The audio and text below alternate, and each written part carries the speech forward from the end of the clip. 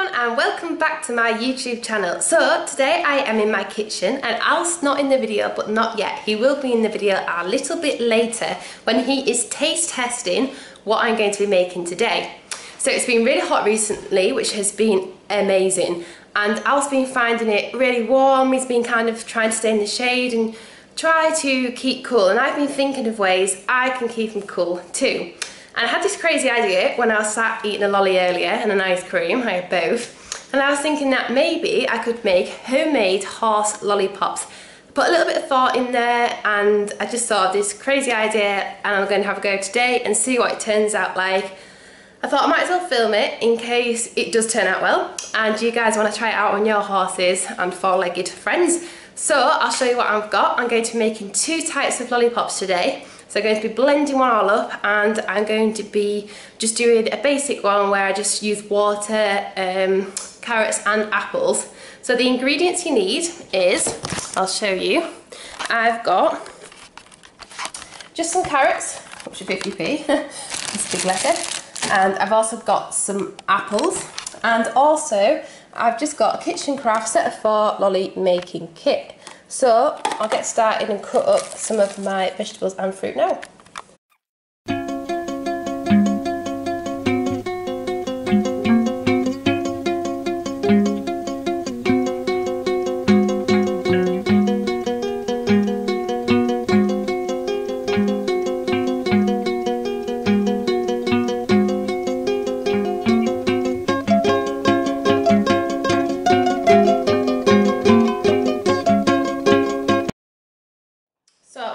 Put a little bit of water into these, right there. There we go. Don't want to fill them up too full. And then inside them is going to be popping in my fruit, which is obviously going to float.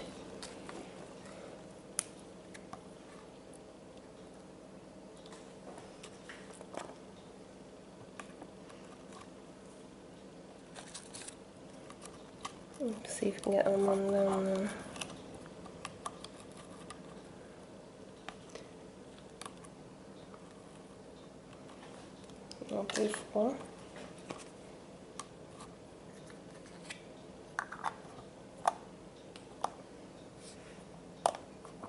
There's one made.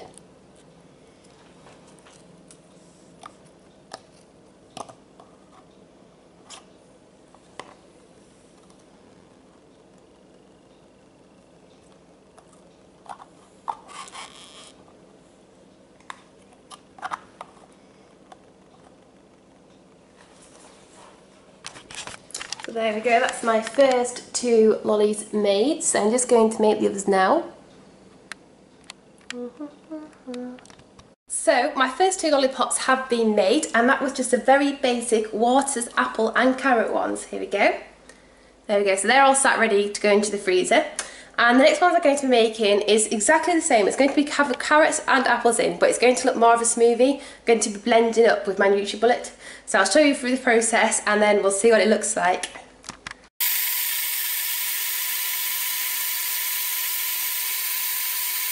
There we go, that looks very orange and carroty. We'll see what they make of that. So let's pour that into the next one.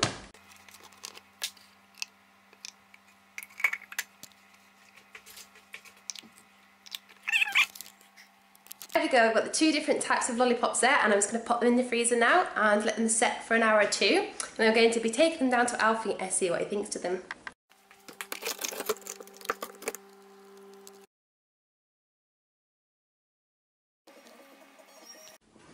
Hi everyone, it's now a new day. I was going to give my horses the lollipops last night but they weren't quite frozen enough yet. So it's a new day and the sun is shining yet again and I now have my horse lollipops. Let me show you now. There we go. They look quite cool actually but and they smell amazing but I'm probably not going to try one but we're just going to head down to the field now and see what the horses think of them. So here we go.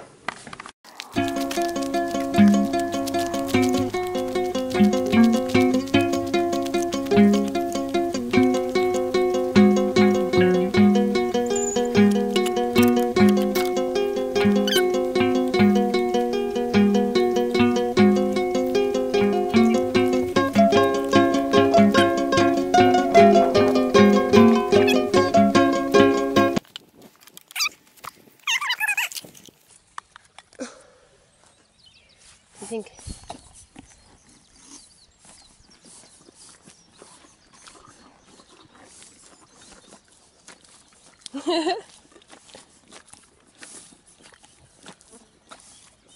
you like that?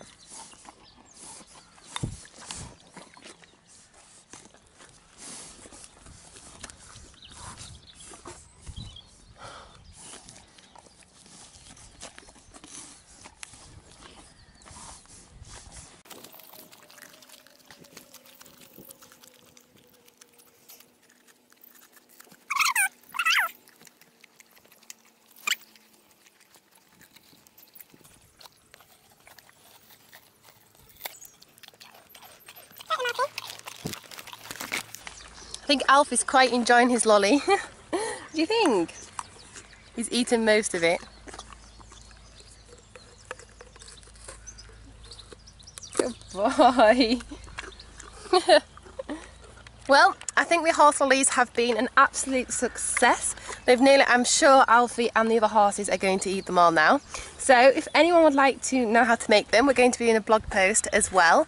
Um, watch our videos, subscribe for more videos, and if you want more information on Little Alf, just head to www.littlealf.com.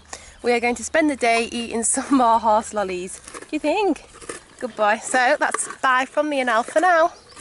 Bye Alf. Good boy.